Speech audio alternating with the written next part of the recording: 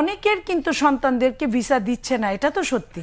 অনেকের কিন্তু ভিসা নীতির মধ্যে একটা নাম আসতেছে, এটা তো সত্যি। অনেক প্রশাসনের লোক সচিবালয়ে টেনশনে টেনশনে তাদের দিন আর রাত একাকার হয়ে যাচ্ছে, এটা তো সত্যি। তো এই জিনিসগুলো যখন একাকার, তখন আপনি বললেন যে ওই যে অনেকটা এরকম ভোটের মতো, যে ভোট দিতে গেছে, বলছে তোমার ভোট ভোট হয়ে গেছে, তুমি বাড়ি ফিরে যাও। তো এখন এরকম আপনার যে ভিসা নীতি, কালকে ভিসা নীতি দিল, আজকে ভিসা নীতি সমাধান হয়ে গেছে, তুমি অত খুশিতে নাচতে থাকো। নো এত সহজ না। আমেরিকার যদি কারও পিছে লাগে পশ্চিমারা যার বন্ধু হয় তার শত্রুর দরকার পড়ে না। সো আপনার ভিসা নীতি যদি আকাশে চাঁদ উঠলে দশ জনেই দেখবে একজন দেখবে না খালি খালি উবায়দুল কাদের দেখবে সেটা হবে না। আপনার আপনি যখন বলতেছেন তখন ওই যে ম্যাথু মিলার বলেছেন। যে বাংলাদেশের জনগণ যা চায় যুক্তরাষ্ট্রও তাই চায়। বাংলাদেশের জনগণ কি চায়? এই সরকার থাকুক তাই চায়?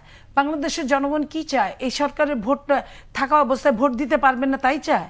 বাংলাদেশের জনগণ কি চায় যে ব্যাংকে টাকা থাকবে না, ডলার থাকবে না, দ্রব্যমূল্যের দাম গগন বিদারি চলতেই থাকবে, আজকে এক টাকা তো কালকে বিশ টাকা, এরকম কি চায়? চায় না। সো বাংলাদেশের মানুষ চায় একটা সুন্দর নির্বাচন। বাংলাদেশের মানুষ চায় তার দ্রব্যমূল্য স্বাভাবিক পর্যায়ে সহনীয় পর্যায়ে থাকুক।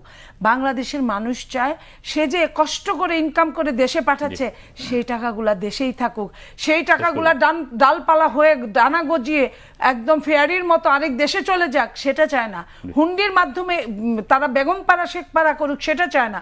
সো বাংলাদেশের মানুষ চায় এই সরকারের পতন যে কোনো মুহূর্তে। কারণ এই সরকারের পতনই যদি না চায় সরকার যদি তাই জানতো তাহলে সরকার ভোটটা দিনের বেলা দিত। যদি সরকার তাই চাইতো তাহলে সরকার মাইকিং করে অ্যানাউন্স করে ভোটার আনতে হতো না। তাহলে ভোটাররা নিজেই জানতো আমি আমার ভোটটা দিতে পারব সো আমি আমার ভোটের কাছে ফিরে যাচ্ছি ভোট দিতে যাচ্ছি। মানুষ এখন ভোট দিতে যায় না। ভোটের ভোটার কেন্দ্রে কুকুর বিড়াল ঘুমায়। সো এই জায়গা থেকে প্রমাণ হয় এই সরকারকে জনগণ চায় না অতএব তাদের যারা ভিসা নীতি দিছে তারাও চায় না।